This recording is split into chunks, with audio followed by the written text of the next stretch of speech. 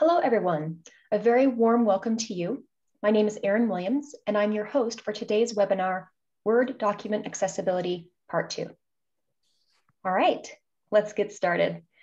Last month, DAISY hosted the webinar titled Word Document Accessibility 101, which covered the fundamentals of creating documents that can be read by everyone.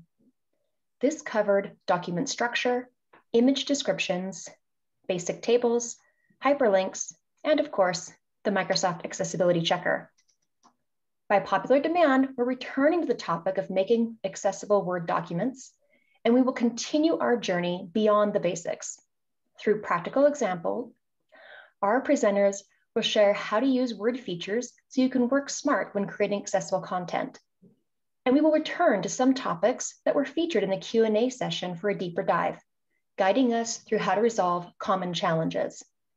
There's a lot for our speakers to sink their teeth into, so let's turn it over to them, and I'll ask our panel to introduce themselves.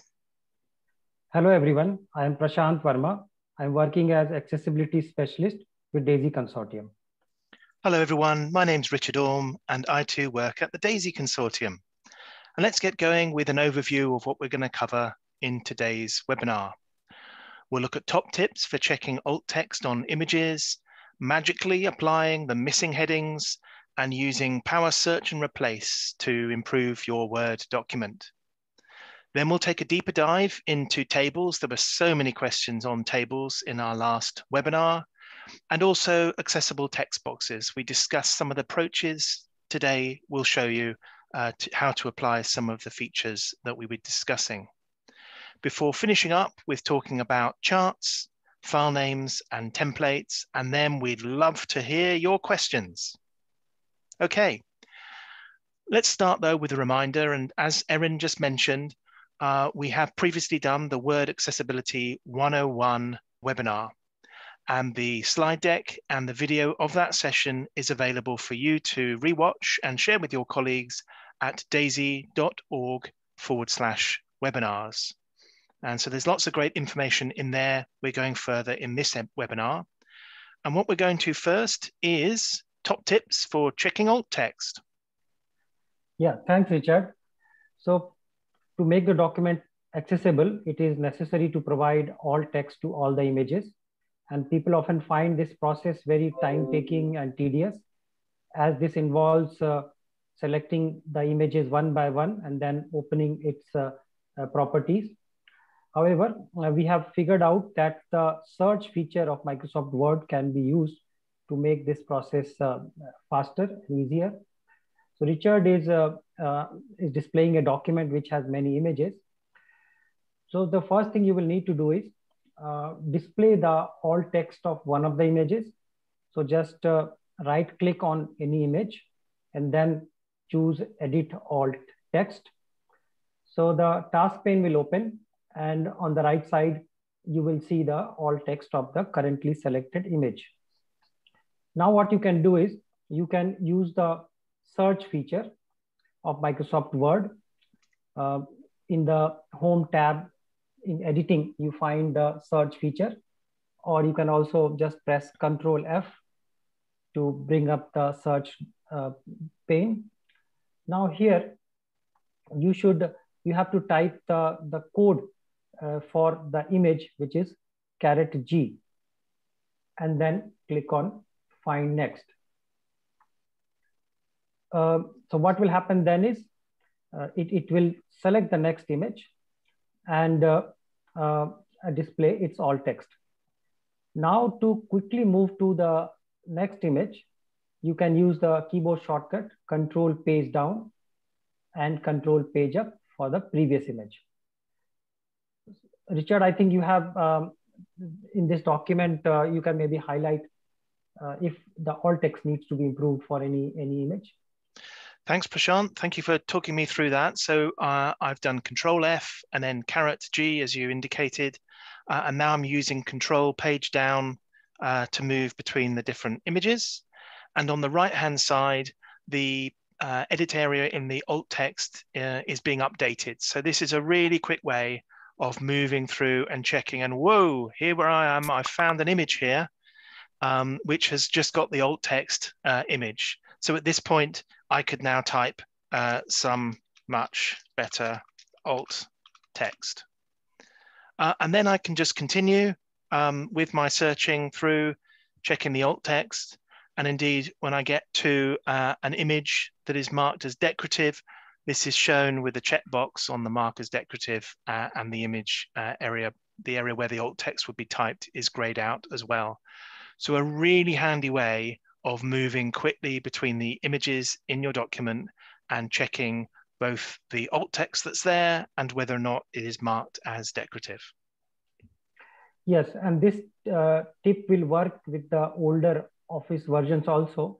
The difference will be that the alt text will be displayed not in the task pane, but in a dialog box. But you can, you can use the same search feature and the same keystrokes there as well. Great. So uh, let's move to the next tip then, magically applying headings. Yes. So very often we find uh, documents in which the section names and subsection names are made prominent uh, through formatting, like by using a larger font, by using an underline or a different color. But they don't actually have heading styles applied on them. So uh, here we have the document uh, about sinking of the Titanic. And uh, you can see that the section names are visually prominent. Uh, but if we open the navigation pane from the view tab, uh, we find that there are no heading styles actually. This document doesn't have any headings. There's no structure. And creation of a structure is, is like the most important thing for making a document accessible. One can go through the document and apply the heading styles on each section and subsection but there is an easier way. Uh, if the sections have somewhat similar uh, text formatting, then we can select uh, all of them at one go. So Richard here is selecting one of them, like starting out. And uh, then in the uh, home ribbon, we can, we can choose the option select. Uh, yeah, Richard, maybe you can just highlight and you can, you can just Sure. Uh, take, take us through, yes. So my ribbon is a little bit different because I've reduced the screen resolution so that things are easier to see through the screen sharing. Um, but uh, it, so it's in the editing group, and then I've got select, and then I've got select text with similar formatting. So if I select that, what what's what's that doing for me then, Prashant? Yes, it will select uh, all all text with similar formatting throughout the document you can maybe just scroll through and you will see that uh, um, even blank lines uh, like which are technically blank paragraphs even those will be selected and now what we can do is we can apply a suitable heading style on them. Um, i think um, these should be heading two as far as i understand this document. So you can just uh, select heading two in the home tab and all of them will then have heading two style. So now, Prashant, if I go back to that uh, navigation um, bar, now I'm seeing that I've got some headings here. Yes, you have got uh, all the headings, heading twos. Uh, looks like there are a few um, blank lines as well. We will deal with them soon. And, and you can also use the same trick to apply styles on, on the main sections like heading ones and heading threes and so on. So that was a very fast way of applying, giving my document heading structure. Clearly, I would need, as you just said, um, to if there were different heading levels like uh, one, two, three, four, I'd need to do it for each one. But each time I do it, I'm hopefully um, creating a whole number of different headings, and it's much faster than going uh, through manually. Yes. What if I don't uh, like the way that the heading is actually looking? I actually preferred how the heading was before. What can I do about that, Prashant? Yes. So uh, if you don't like the look and feel of the headings, then you can modify the style. So in the home tab, you just right click on the on the heading style, like maybe heading two, and then choose modify. And here you can now uh, uh select a uh, desired font and size um, and, and make it look the way you want it to. Okay, that sounds fine. So before, for example, it was underlined, so I'll be able to underline um, this particular um, uh, item here, for example. Okay, that sounds good. Yes. And all the um, headings across the document will be updated. There we go. So sometimes people kind of don't like the style adding styles, even though it adds the structure, because they say they don't like the way the styles look. This is to address that comment, which is you can adjust the styles however you like. You don't have to stick with the ones that come uh, out of the can, as it were. Great. So what's next then, Prashant? Okay, um, I think now we can uh, uh, demonstrate how we can use the the search feature to correct the document. We can we can actually remove empty paragraphs like blank lines. We, some of them could be empty headings as well, and we can also use the same feature to remove extra spaces and also when when necessary, tab stops, manual line breaks, page breaks, etc. So let's uh, uh, demonstrate this, uh, starting with uh, blank lines. In this document, uh, there are many uh, blank lines. So, so, so to, to remove all of them, what we can do is we can use the search feature. So in the home tab, in the editing group, you can open the replace tool.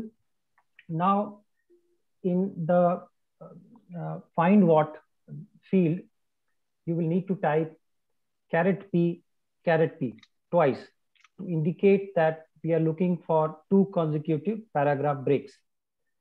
Richard has actually also uh, um, um, highlighted the, the marks, the paragraph marks. You can actually see that uh, in this document, just below the image, there is one, one blank line or, or you can say a paragraph, and then there are two more consecutive paragraph breaks towards the bottom of the page. So all these things we can remove um, at once very quickly using this uh, find and replace uh, tool. In the replace with, you will need to type caret P. So we want to say to Microsoft Word that find instances of consecutive, two consecutive paragraph breaks and replace it with one. Now click on replace all. You will get a message that so many replacements were made. In this case, uh, 72 replacements. Click OK and then repeat the process. Click on replace all again. Again, uh, it will say that so many replacements were made. So depending on how your document is, you may need to uh, click on replace all again and again till it says that zero replacements were made. Okay sometimes it will it will stick to one replacement. In such a case you can click on find next and then it will show you where that uh, that um, um, you can say the culprit is where there is one more paragraph break which which can which not getting removed. Now here it is in between tables and that can be uh, removed manually yes yeah, Richard, I think now your document uh, doesn't have any uh, blank lines or empty headings.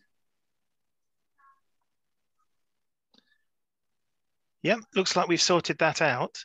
Uh, however, um, people are often putting in two paragraph breaks because they want to make more space between the paragraphs. So we've improved the accessibility by not having these kind of blank lines between the paragraphs, but actually this isn't looking visually how I want it to? How, how can I resolve that? Yes, so Microsoft Word provides the paragraph spacing and line spacing features. We can make use of that. So for example, if you want more white space before and after the headings, so we can select uh, um, the heading, one of those heading styles, and then we will need to go into the paragraph dialog, which is also in the home ribbon. And then there is a uh, before and after uh, field. So there we can mention the spacing we want in points. So maybe say 18 points uh, before certain headings and, and maybe you can say 12 points after certain headings. So, uh, and then if you uh, click OK and go back to the document, so you will see that uh, now that that spacing has been applied. So visually, it, it is looking better now, and and technically also it is correct. So same thing can be done for for paragraphs. Uh, so headings, paragraphs, lists, wherever you want, you can change the uh, spacing before and after. Okay, so while you've been talking, Prashant, I've done that. Uh, I've got back to having the space between the paragraphs. But if I do that um, reveal codes um, keystroke, so that's Shift Control 8 or uh, Control asterisk, however, um, we can see that there is just the one paragraph break, but after the paragraph, we've now got this space. So visually, this is more like what I'm after now. So I'm, I'm happy again with that.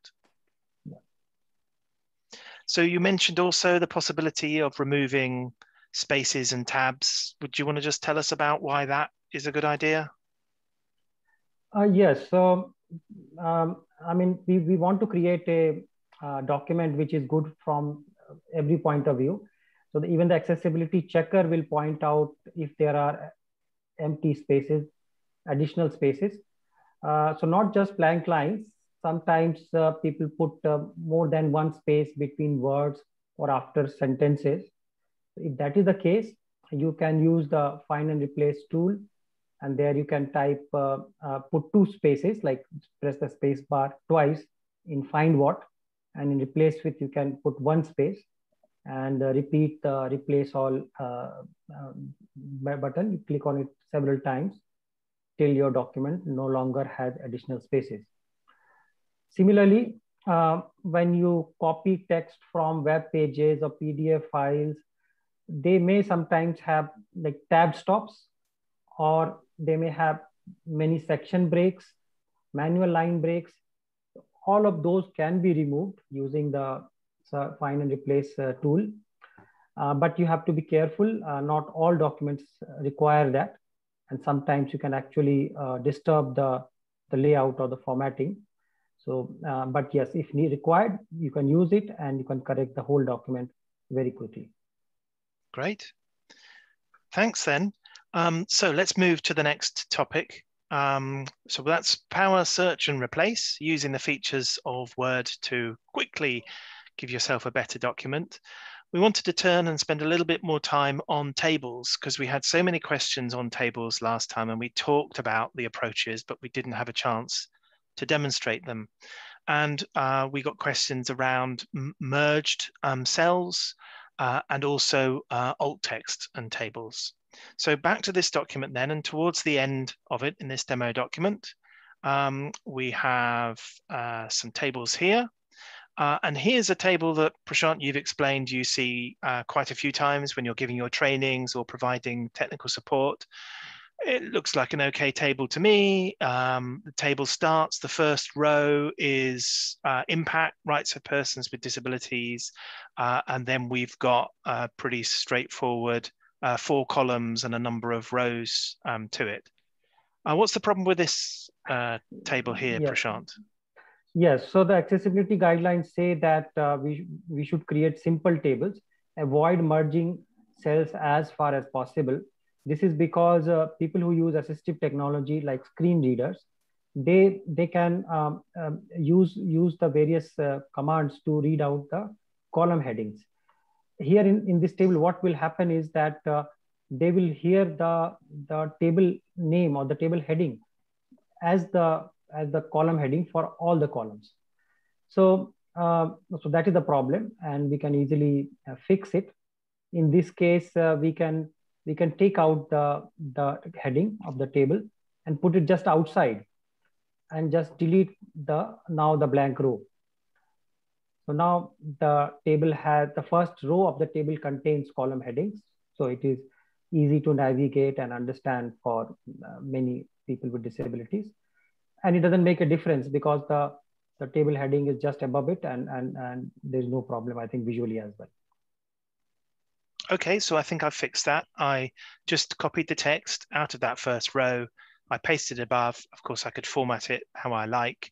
Uh, and then I deleted that row so now we've got a regular um, a table here and someone who's using a screen reader, when they land in a cell uh, and they use a keystroke in their screen reader to hear the or indeed it may automatically read out the column heading. It'll read out, in this case, in the third column, target as the row heading rather than the title of the whole table. I get it, that works. Here's a second example, Prashant. This is, again, not the most complicated um, table. Um, we've got one, two, three, four, five um, columns here uh, with a number um, and different columns. And then on the right-hand side, I see this too. We've got um, a, an estimated rate and a quoted rate in two different columns. And rate is set as a kind of heading for those two columns. So what's the challenge here that's presented for someone who's using assistive technology? Yes, so for both the estimated and uh, quoted columns, uh, they will hear the heading as rated rate. So that is the problem. And I think Richard, you can easily fix it by, uh, by removing rate as the heading of these two columns and, and uh, um, changing the headings to rate estimated and rate quoted. Okay, so what I've done is I've clicked into that cell that was merged and Word gave me the option to split the cell. Um, so it's now split it what I'm now going to do is I'm going to now merge these cells. Um, so I'll, I'll click the buttons and then have another go at explaining this. Can't do two things at once. So I had effectively two rows um, in, in that uh, right-hand top corner, and I've merged it so that we've just got the one cell that's the same uh, height, as it were, as the other um, cells along here. And so the first cell reads rate estimated. Mm, okay, maybe that's good enough. Maybe I would change it to estimated rate. And the right hand side, it says quoted. Well, actually, so it's missing the heading that was there before. So now I've that, added that in. So I've now got a regular uh, simplified table structure. I don't know that anything's particularly been lost um, from this table as a result. We've got a slight bit of repetition in that the column heading uh, for the last two columns are rate estimated and rate quoted. But someone who's using assistive technology, when they land on the um, value five, can check what that actually means. And before they just got told rate, but they didn't know if it was estimated or quoted. Now they'll get that information correctly. This is um, this is showing the principle of this. Clearly, there are um, tables that are more and less complicated, but the notion is that you demerge so yeah, you demerge the cells uh, so that you have a regular kind of layout because you understand the way that the screen reader would work. Uh, and then you just have to kind of think about what's the most sensible um, heading for that particular um, row or column. Okay, that seems to work. What about alt text and tables then? So uh, here I am in a table. I can do right click and I can go table properties and one of the uh, property sheets here is alt text. And it's telling me that um, titles and descriptions can be useful for people with vision or cognitive impairments. So I could put a lot of effort into typing a description um, of this table. Uh, what should I put? And should I put anything, Prashant?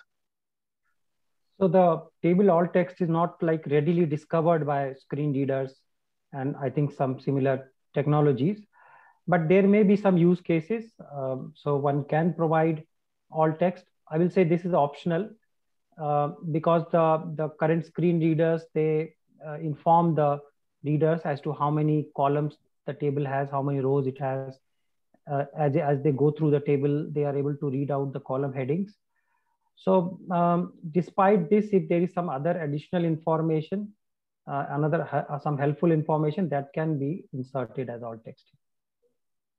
So don't rely on the alt text in order to make your inaccessible table accessible. You need to format it correctly, um, but also don't feel you have to spend a lot of time describing the layout of the table if it is a simple table, because the screen reader will do that for someone.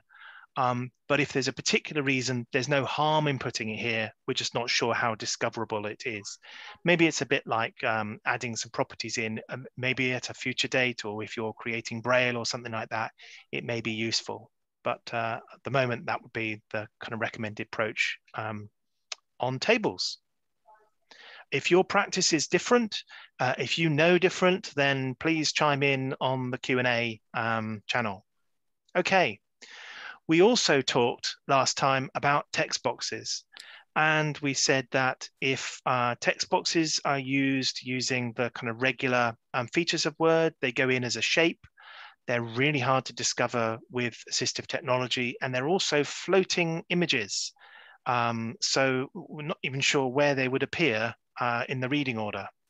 So we've put um, a, a text box into this Titanic document. Let's have a look for that. Uh, and here's the text box. Well, it's been put in there because it's a quote from the captain of the Titanic. So the author of this document wanted it to kind of be visually to stand out uh, and to distinguish it from the surrounding um, text. Um, why don't we uh, have a little go with a screen reader? So we'll start narrator here. Demo document.docx, compatibility mode, word window, demo document.docx, compatibility mode, editing. Grief and outrage. Carpathia arrived at Pier 34 in New York on the evening of the 18th of April after a difficult voyage through Pakai to the disaster communications Moving through a little bit more quickly. It, sinking that the text box 2, text box, text wrapping square. The prevailing public reaction to the disaster was one. So after reading the heading and then the first paragraph of this uh, part of the document, it then told me I had a text box and there was text box wrapping. It didn't read me the contents of it. And then it went on to read the next paragraph, except the next paragraph is actually still before the text box in the document. And this is because these text boxes are floating um, uh, items within your Word document. Uh, and as people edit their document and move things around, they want this to be particularly on one page or whatever, um, the text box can kind of become a, uh, come adrift from its original position uh, within the document. They're just really not uh, a safe way of including content. And, and also, if you then go to export this to another format, um, such as uh, Braille or I don't know, maybe PDF, uh, the contents of this text box can just be uh, lost, um, depending on the conversion technique you're doing. So what we said last time, Prashant, is there are other ways of creating a text box in a way that visually still works, but is better for someone who's using assistive uh, technologies such as read aloud or a screen reader or uh, or whatever. So how would I do that with this one here? So uh, you can use the borders and shading tool to achieve more or less the same uh, visual Ex presentation. Exiting narrator. So in this case, uh, you will need to copy the text which is inside the uh, text box and then delete the text box, okay? And now paste the contents of the text box at, at a logical place in this document um, after a certain paragraph. And now select this paragraph and uh, give it a suitable border and maybe shading as well. And if somebody wants maybe a little bit of indenting also to further highlight it, so that will do. Okay. So I'm never actually too sure where to find that in the um, in the Word uh, menu system. So I'm using the Tell Me feature here, that little search box on the title bar of Word, uh, which means I don't have to remember uh, where it is. So here we are. I've typed border into that. The shortcut key to go up there is uh, Alt Q, and then I'm choosing borders and shading. No doubt there's a way of finding it through the menus really easily as well. So what do you reckon? First of all, we're going to play with uh, what? Putting a box around it? Uh, yes, yeah. Uh. And, oh, yeah. and, let's make it a little bit thicker. So uh, one point wide. Um, okay, that's fine. And then yeah. the one we had before had a kind of blue shading to it. So maybe I can complete that with having uh, choosing a nice blue color for it. Click on OK. And well, to me, that looks like a like a text box. Um, and now I would expect the reading order to be correct. I'll just try that out now. So starting up narrator. Demo when so many others died. Why did Titanic proceed into the ice field at full speed? Ismay himself later said. What do you think I am?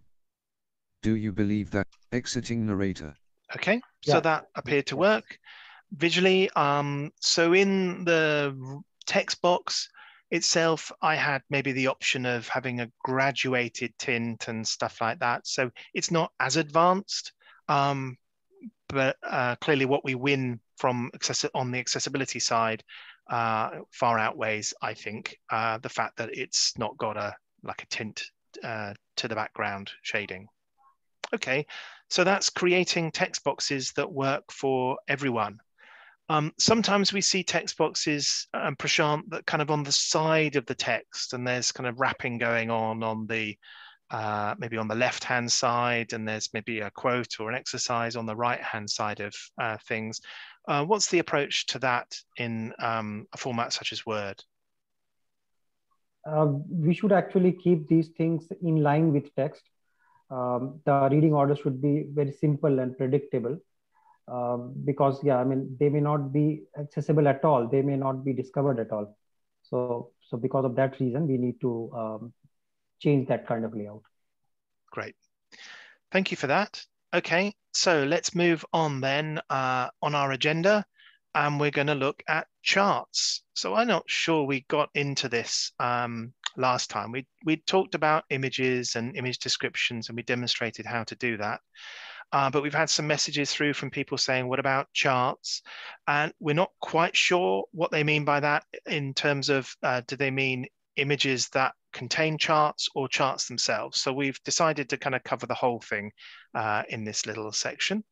Um, so in our um, document here, uh, we have uh, a chart, and this is one that has been created um, in Microsoft Excel and then uh, included uh, within Microsoft Word. That's the whole beauty of this suite, that you've got these different applications that play together. Um, and I know it's a chart because when I start clicking inside it, I can actually move objects um, around. Um, uh, but to all intents and purposes, the work's been done in Excel. This is the result. It's a visual representation um, of the data, in this case, around first quarter visitors to some websites. And there's some information there about January, February, March, and a total. Okay, well, let's see what the experience of this is like with um, a screen reader. Demo document.docx, compatibility mode, Word window, demo document.docx. Okay, so I'm going to move to the chart. Chart area. Okay. Blank. All right, so I heard there was a chart there, but I didn't get anything about it. Um, now, a chart within Word, chart you can um, add narrator. alt text to it, uh, but actually the alt text is not read by many screen readers. Um, so the first thing would be to provide, I think, a reliable way where the alt text works uh, and you're kind of faced with something that um, is not confusing. Uh, the experience with some screen readers when you come across a chart in Word and as you're cursoring through, it actually starts kind of navigating you through some of the menus that pop up, such as the flow and editing the uh, colors and this kind of stuff. We see these visually on the right hand side of the chart when we get to it. So it can be a confusing experience for someone who was just wanting to read a document and not expecting to get into editing a chart. Um, so uh, the approach to, to start with with this would be to select the chart itself, not something within it. Um, so by selecting the chart itself and then doing right click, and one of the options we have is save as picture. So what we're talking about here is saving the chart as an image in order for us to then include uh, into the document. So I've uh, done this already. I'll overwrite that one there. And then what I'm going to do is delete the chart and then insert a picture from my device. There's my chart and it's back in again. Looks just the same, but unlike before, if I try to click on elements within the chart, they don't work. This is now a kind of flat uh, image. And now I have the option of being able to put some text um, in here. And I might want to describe this uh, chart. There's actually quite a lot to it. Um, what can be done, Prashant, with alt text and some more complex images like, uh, like a chart? Uh, so I could say this is a chart. Maybe that's what I should do. This is a chart showing the first quarter visitors uh, in 2021 to example.com websites, but that's not really an equivalent uh, experience, is it, Prashant? What's the approach one should take? Yes, this kind of chart requires a much longer description. Actually, it requires uh, a lot of numerical data, like almost uh, this chart can be converted to a table even. So that kind of description can be uh, put just below the chart, or it can be put somewhere at the end of the document. And we can provide a link just below this chart to, to be able to just jump to the description. Um, so there are different approaches, but yes, it requires a longer description. Sometimes the description can itself include a table also.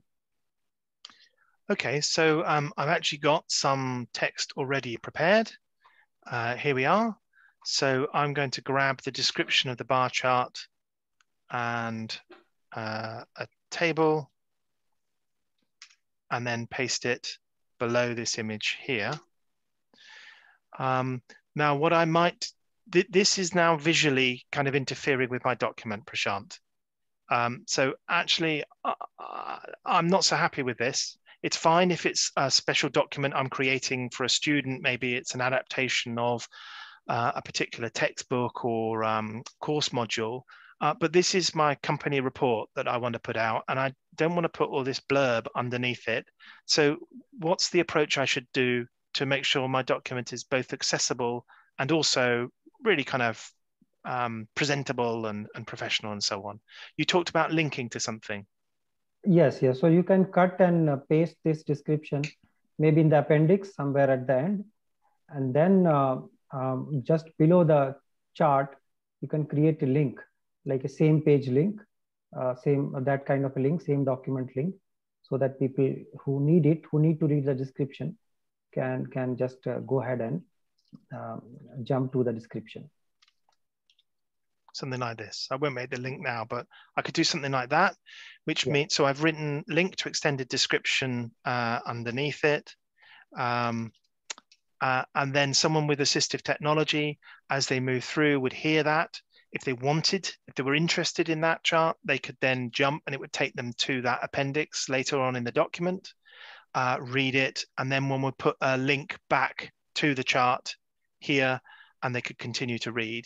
And so then visually uh, and for printed copies, that's then not so disruptive um, to the text. Well, that would make a, a very accessible version of this um, document then and this chart, because the way that this extended description it works is that there's an overview that's been written uh, that describes it, and then the data is presented actually uh, as a table, which means that the, the source data, if you like, for this table can be explored. So someone can work through um, the numbers for a particular site or across a particular date or, or something like this. Very nice. Yeah, excellent. Okay. All right, back to our agenda then. Uh, so just to remind us on this one, the approach would be first of all to convert your chart to an image, then add alt text. And if your alt text is not sufficient, which would be the case if it's anything other than a really simple chart, then consider adding an extended description and maybe even an alternative uh, presentation such as the table data um, that you saw there. Okay, um, so next then, uh, we've got our last topic, which is around file names and templates. Um, so if one reads about, you know, making Word documents accessible, one of the things that gets mentioned, you know, maybe on the Microsoft site and on uh, other sites, the 508 site, they talk about file names. So that's not actually part of the document itself, but what, why do file names matter, Prashant? What's that got yeah, to do are, with accessibility? Yeah, there are two things. So the file name should be descriptive so that people, uh, before opening the file, they, they can get to know like what is inside the file. It helps them in classifying the files, uh, in arranging those files. Secondly, uh, the file name itself uh, should not be containing spaces. As a Word document, it doesn't matter. But when the Word document is converted to some other formats, then some of the conversion tools uh, uh, do not uh, work well with spaces inside the file names. And um, the, the resulting formats may have missing pictures or some other issues. So because of that, uh, we have to take care of the file names, uh, write very descriptive file names. And uh, instead of spaces, we can use the underline, sometimes the dash, or even sometimes the camel case, where we uh, put the first letter of each word uh, in uppercase. Um, so uh, I sometimes use spaces in the file names that I create. As you say, if it's just something within Word, that probably doesn't cause a problem. But if I'm looking then to share that um, document with other folk, uh, I could go and rename those um, files and uh, changing each space for an underline. Um, I actually use a tool from Microsoft, a free tool called PowerToys, uh, and this has uh, a renaming um, feature as part of it, which means I would just uh, go into the Windows File Explorer, I would right click uh, on the file name that I want to rename, and PowerToys will have added in an extra feature, which is the renamer, and I can just tell it that I want the spaces to be replaced with an underline, and it makes it really easy to do that little um, change. Uh, underline or dash, as you say, uh, Prashant, that works fine. Okay. Um, also, in the training that you do, uh, Prashant, you sometimes come across organizations that are using templates. So, templates, these are kind of pre set up um, Word documents with, um, I don't know, headers and footers and fonts and all those sorts of things. So, templates, are they good or bad for accessibility? So the templates, uh, if they are tested for accessibility beforehand, then then they are good because uh, when people use templates, they tend to create similar documents as far as the structure and the look and feel is concerned. But if the template itself has some accessibility issues, um, then yeah, then all documents based on that template uh, will unfortunately be not accessible or will have the same issues. And you see that in the wild, do you, Prashant? Yeah, very often. So sometimes like people use the the tables to lay out the, their logos and some other things uh, which which is which is not accessible, uh, which is not the right way table should be used. Um, then uh, people also uh, tend to uh, make use of certain font size and colors for the sections and subsections, and don't really promote the use of heading styles. So that is also uh, an accessibility issue.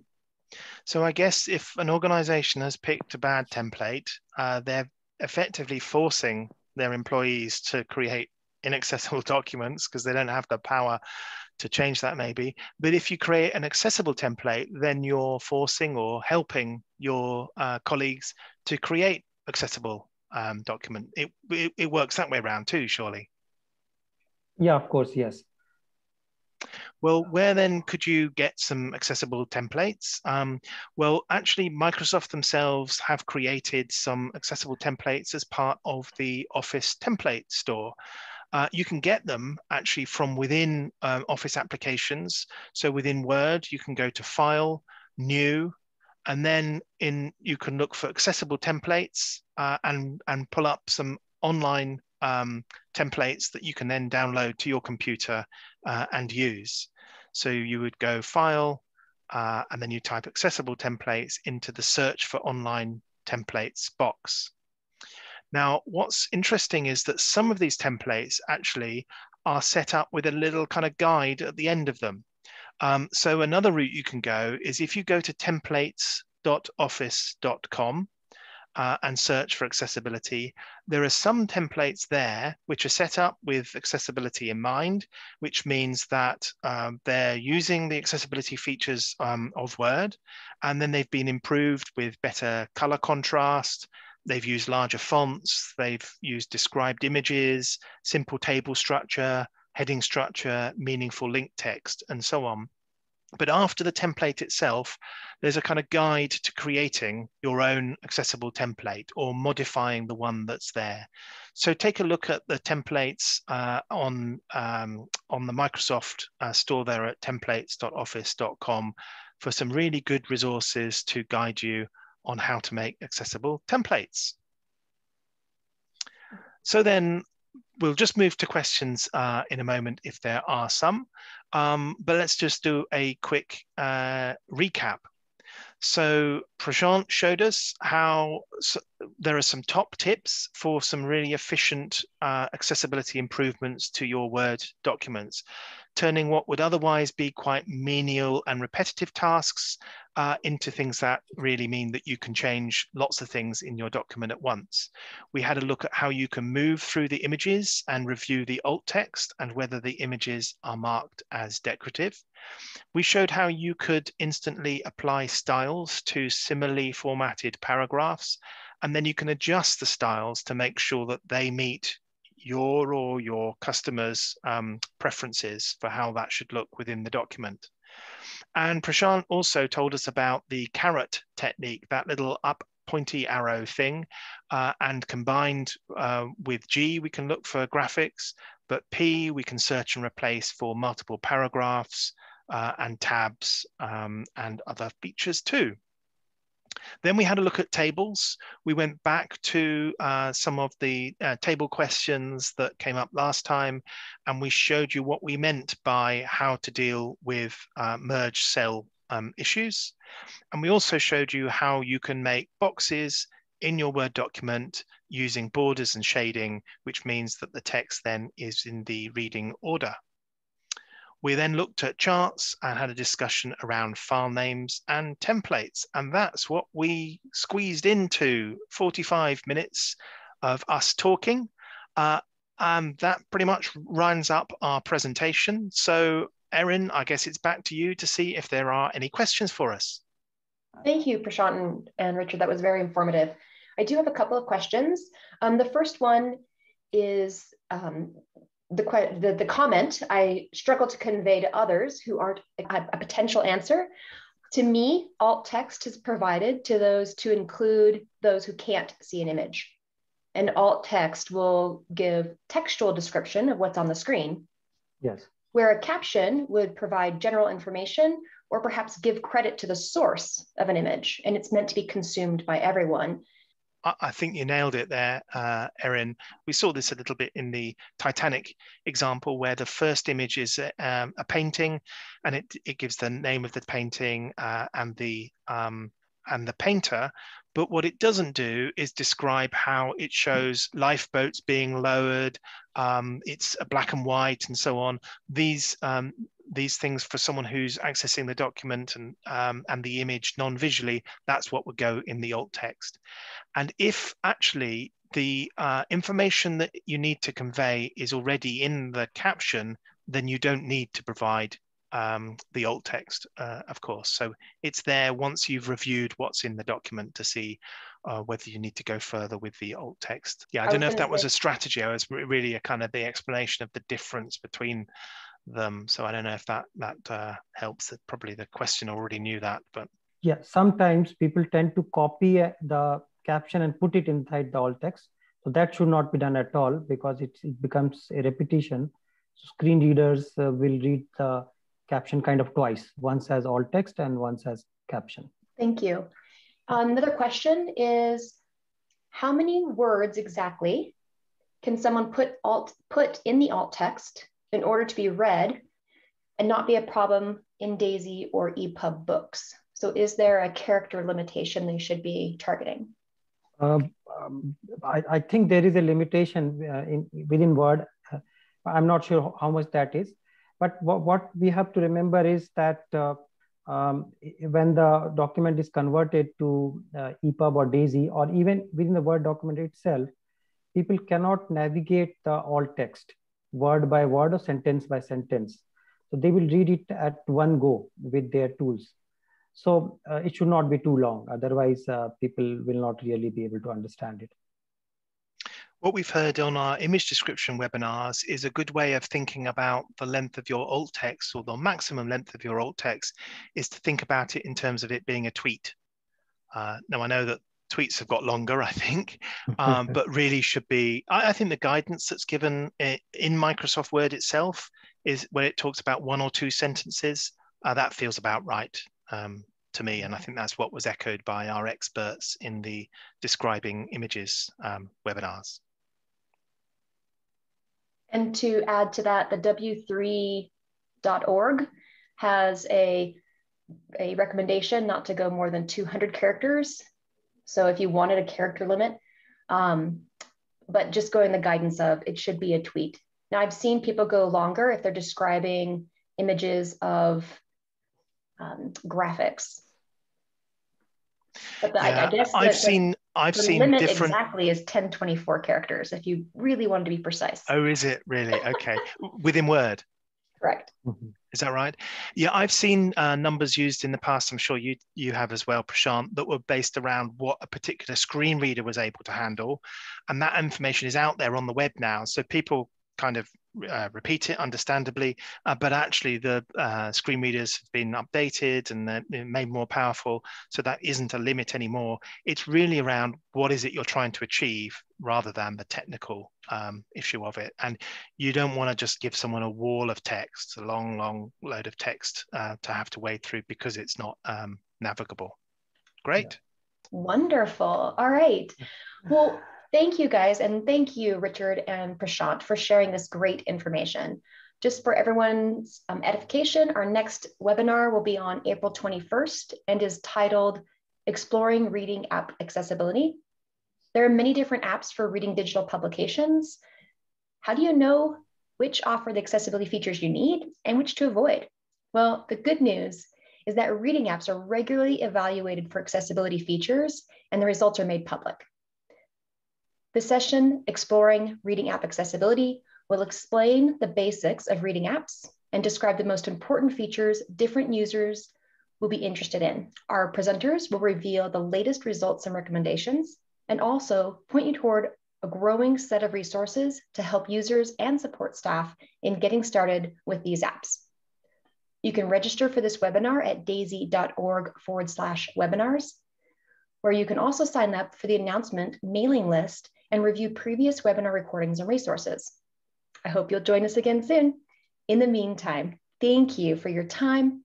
Stay safe and well, and have a wonderful rest of your day. Goodbye.